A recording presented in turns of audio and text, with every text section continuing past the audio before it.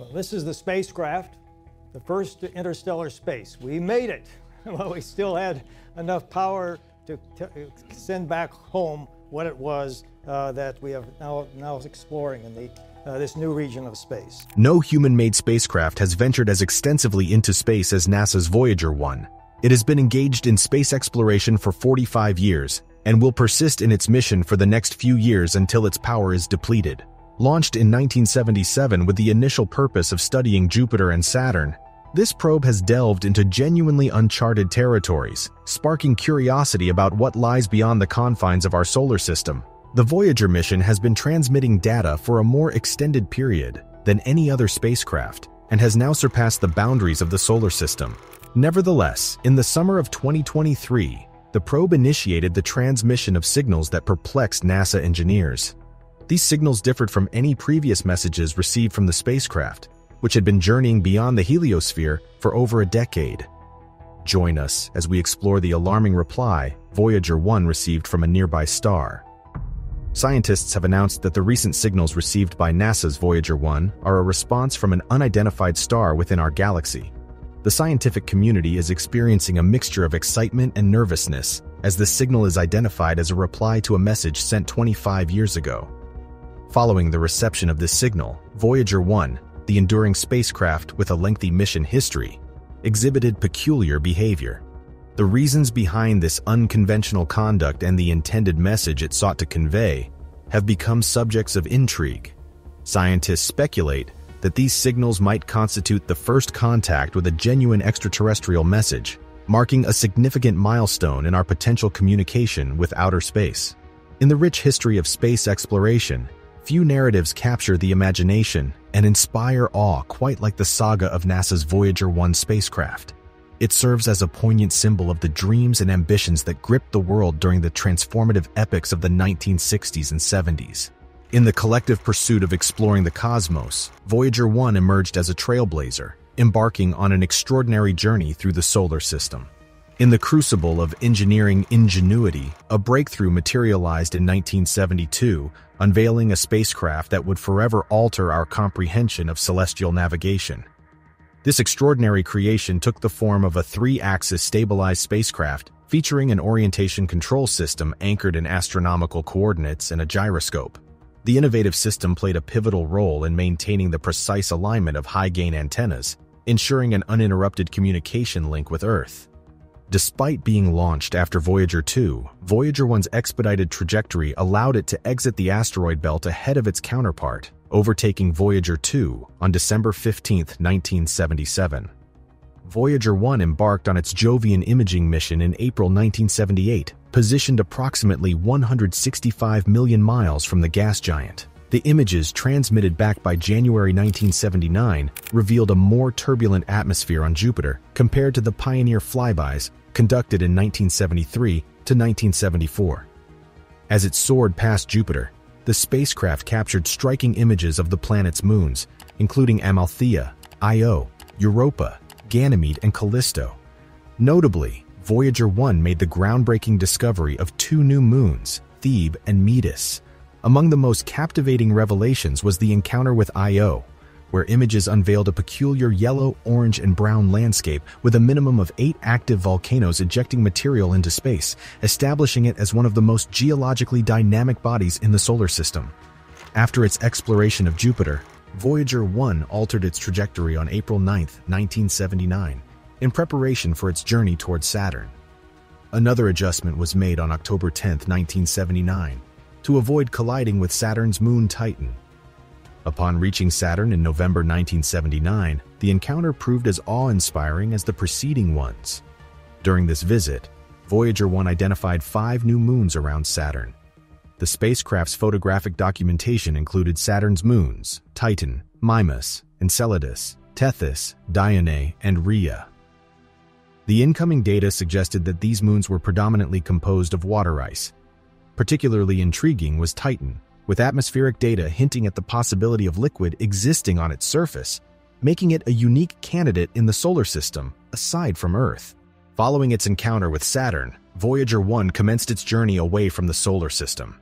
It maintained a rapid pace, covering about 3.5 astronomical units, AU, annually, equivalent to approximately 325 million miles.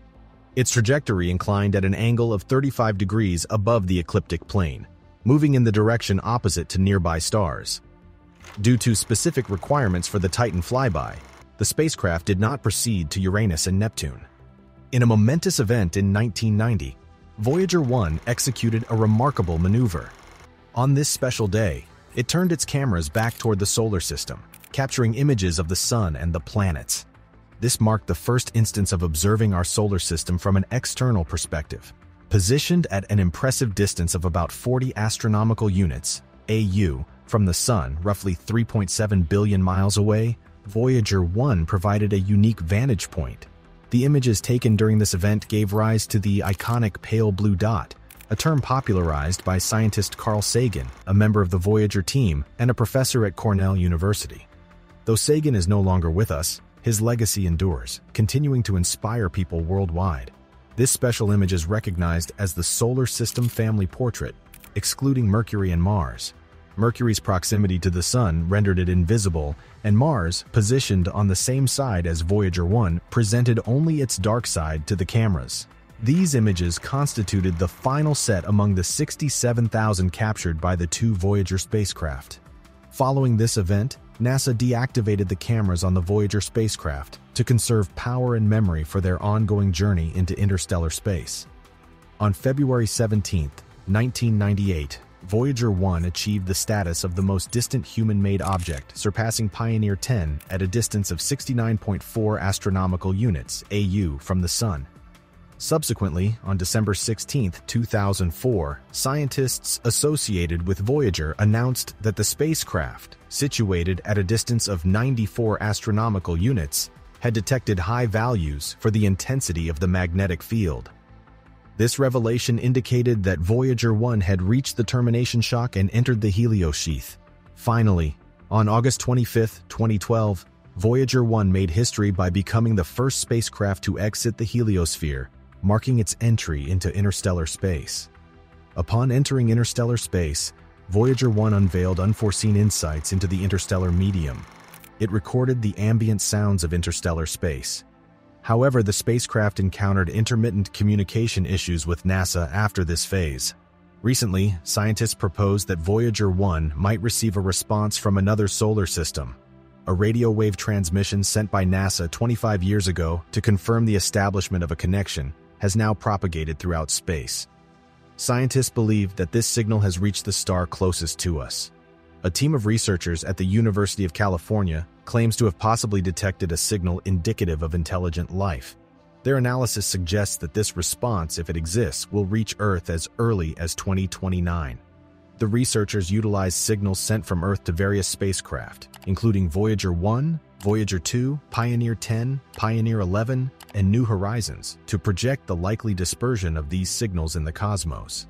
According to their study published in the journal Publications of the Astronomical Society, Transmissions directed at Voyager 1, Pioneer 10, and Pioneer the 11th of May have already reached at least one star.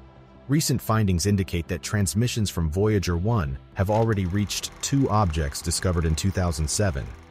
The projections suggest that by 2336, Voyager 1's transmissions will have reached all 272 neighboring stars.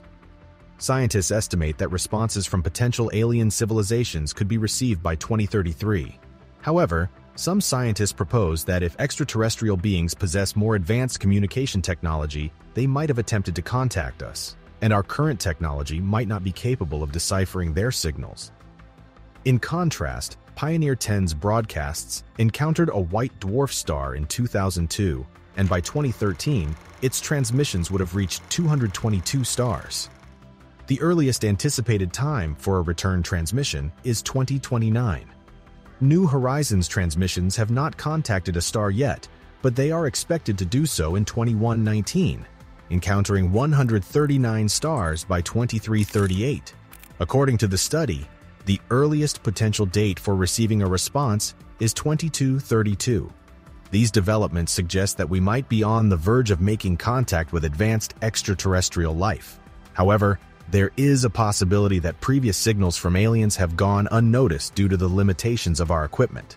The Voyager team is actively working to ensure the spacecraft continues to collect data and travel as many miles as possible before its power runs out.